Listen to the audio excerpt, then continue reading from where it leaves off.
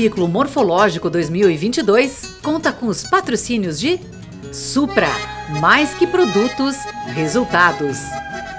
Vetnil, parceira de quem cuida. E Facta Financeira, confiança rende mais.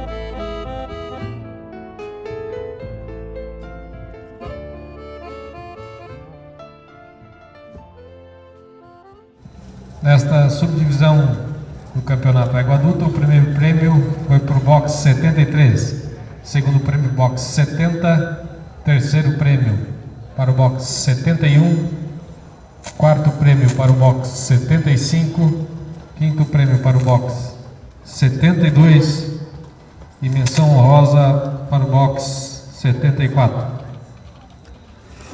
É, nessa categoria eu optei pela Égua Colorada Salina, é uma égua que se apresentou muito bem montada, caminha muito bem, é, tem boa retangularidade, é, linha de cima muito firme. A segunda égua, uma égua também num tronco muito importante, é, boa garupa, boa descida de perna, é, gostaria que tivesse uma cabeça mais expressiva. É, a terceira égua, também uma égua muito boa, muito crioula, teve boas andaduras entilhadas, é, gostaria que ela tivesse uma melhor descida de perna. A quarta égua é uma égua de um tronco importante, boa palheta, é, boa estrutura, gostaria que ela tivesse é, um melhor polimento. A, a quinta égua, a Lobuna, uma égua que não se apresentou bem montada, não teve boas andaduras, mas uma égua muito típica, muito crioula, muito enquadrada na raça. A Rosilha também, uma égua muito típica, de bom selo racial, é, que hoje não se enquadra, não, não, não tem o mesmo preparo das demais.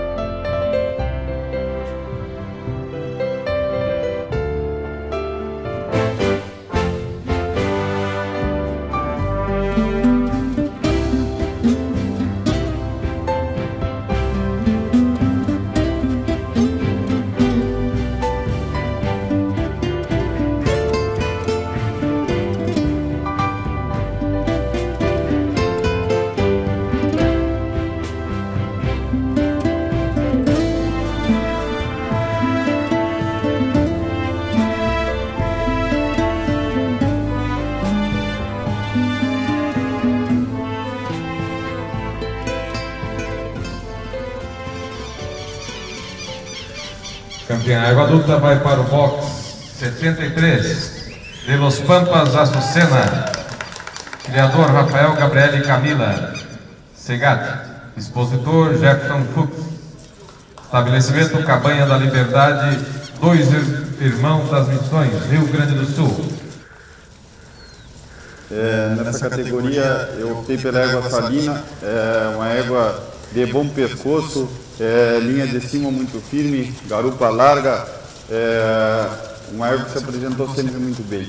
A égua tordilha uma égua muito profunda, de boa costela, boa descida de perna, é uma égua muito, de muito selo racial.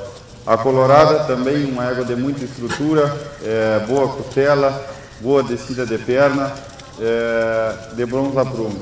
A égua gateada, também uma égua muito feminina, de bom pescoço, boa cabeça é, e de muito boas linhas.